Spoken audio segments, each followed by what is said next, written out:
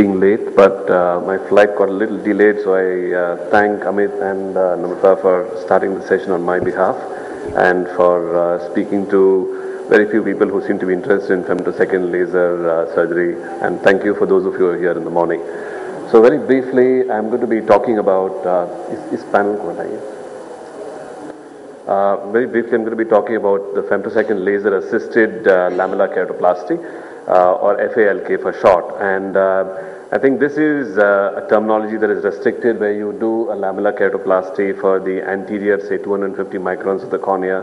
Anything that is deeper is usually referred to as LK, or even deeper is called DALK. So typically this is applied to pathology that is limited to the anterior 250 microns of the cornea. Again, the number of cases that this can be done in is usually very limited because pathology that is limited to the anterior 250 microns usually tends to cause changes that are deeper. Only if you have anterior corneal scars or some of the uh, some of the dystrophies where the de deposits are densest in the anterior stroma is this going to be applicable. And to see why femtosecond anterior lamellar keratoplasty may be a little better than manual or automated ALK, let's just go through the procedure of manual uh, or automated ALK. Typically, an ALK is done as a one-step procedure where you have a scar within the cornea, you take off a bit of the corneal uh, stroma along with the scar and replace it with an anterior lamellar graft.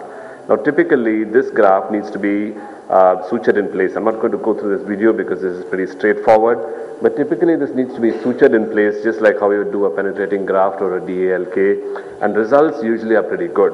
But the problems with these kind of ALKs is the fact that even though you use the same microkeratome or ALK machine to make your donor as well your host bed, you can have mismatch between the recipient bed and the donor bed. In addition, you also can have a mismatch in the irregularity of the bottom of the graft that you harvest, and you also can have a mismatch in the thickness of the graft that you harvest. And because of this, a one-step ALK probably may not be such a great procedure to treat anterior lamellar pathology.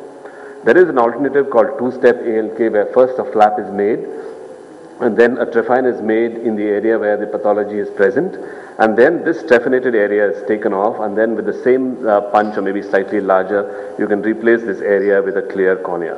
But this again in most cases requires sutures because the apposition of the edge is not as good as you would expect it to be. And this is what gives rise to a procedure which is called FALK or femtosecond anterior lamellar keratoplasty where the, the best part of this procedure is the fact that it can be sutureless. So this is a tissue that is being harvested in the graft with the IntraLase, uh, and you see it's very pretty much similar to how you would do a LASIK flap, except the fact that this is not a raster pattern. And once you make this uh, this uh, flap, you you harvest the graft, the anterior stromal graft, in the uh, in the from the donor cornea and keep it aside. And then the same kind of pattern, the same diameter done in the host cornea. Uh, this tends to vary also according to the pathology, the curvature of the cornea, and the kind of laser that you're using. Typically, I tend to use a 0.1 millimeter oversize. And once you're able to take off the graft from the, uh, from the host cornea, then all you have to do is replace it with the uh, donor that you harvested from the graft. It is pretty straightforward and because the IntraLase is actually a very powerful laser, it can blow through the scar and create a pretty nice dissection. If you have any irregularities on the stroma, it's also possible to do a PTK at the same session before you put your graft in place. And you look at the edge of the graft, you'll see that the graft apposition is extremely good. It's almost like a LASIK flap, and all you need to do is put a bandage contact lens back in place, and you have a pretty clear cornea the next day. So this is again OCTs of uh, anterior uh, scar that was treated with FALK, and uh, though you can have some amount of residual scarring in the interface, most of the problems in uh, corneas that are associated with an anterior stromal scar is also astigmatism. So you should be able to take care of part of it. But one interesting factor that we found in patients who've had these scars and who had femtosecond ALK is exactly like with the microkeratome, you seem to be xeroxing the pattern of the astigmatism on the surface, even on the bed. So if you look at the topography of this patient preoperatively as well as postoperatively, you see that the astigmatism is just about the same pre-op as well as post-op. So you've gotten rid of the opacity, but you haven't taken care of his astigmatism, and this might actually need a secondary procedure to be taken care of. So I'd like to share with you two cases of FALK that we recently did and then two cases that were interesting.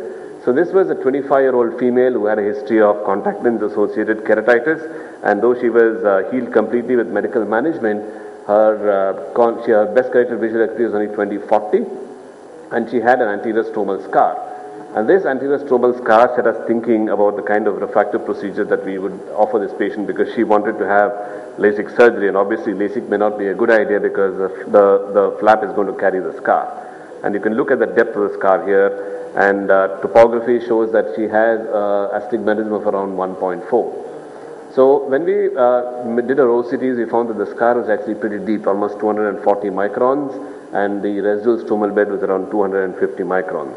So what we did was using the Visumax laser, we created uh, anterior stromal lenticule in the donor cornea exactly like you saw in the previous video.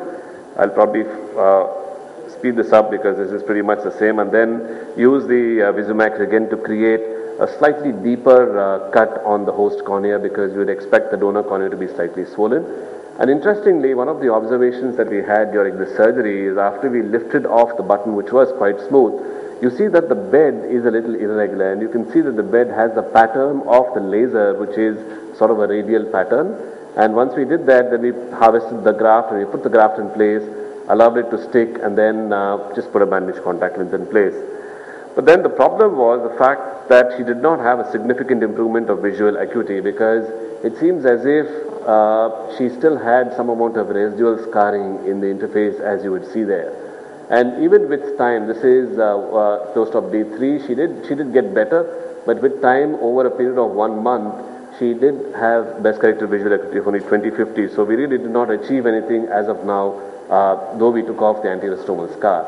So there you see the OCT and you see the OCT showing you the residual scar in the posterior stroma and the mid stroma and then you see the transplanted lenticule in the anterior stroma. So we decided to wait for some time and after some time what we did was we lifted the uh, lenticule that we had transplanted exactly like a LASIK flap and then because we remembered that the bed was actually quite irregular, we did a PTK to the bed to smoothen the bed and also to take care of the residual scar that she had. So this was the bed and as you remember the bed was a little irregular.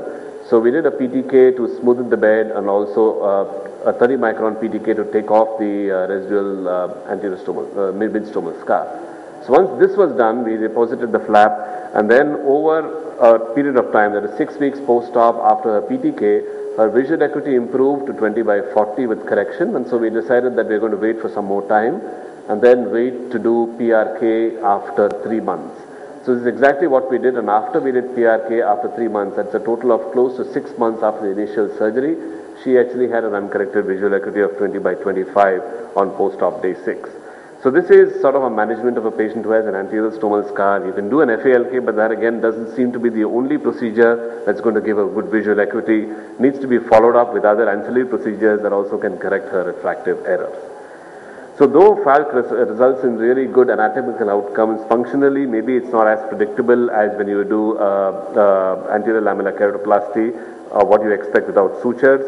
And if you have a scarred cornea, you can expect that the astigmatism can be dialed onto the host cornea and you might need to do a secondary procedure. So this again is an interesting case who is a 25-year-old female who underwent uh, microkeratome LASIK, diagnosed with epithelial ingrowth in June 2012, had two uh, flap relifts and uh, uh, scraping of the ingrowth, but then she came in with pretty significant and dense epi ingrowth.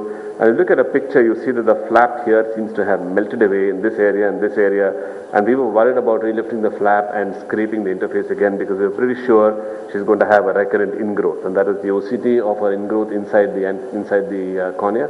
So what we decided to do was actually go in and use the FALK to take off the entire ingrowth as well as 20 microns off the bed below the ingrowth. So we took off the entire complex, including the flap, and did not have to deal with uh, any areas of the flap that were weak if we had to relift the flap and put it back. So as you see here, it's a little difficult to relift this because the ingrowth is pretty dense. But once we relifted it, the bed was not too bad, and uh, we thought we'd get away with the flap. But then the problem here that I faced was the fact that the initial graft that I'd taken was of the same size as the patient's, and as you can see, there's a pretty large gutter all around, and we had to replace this with another donor lenticule, which is not too bad because you have plenty of these lying around, and then all you need is an extra license.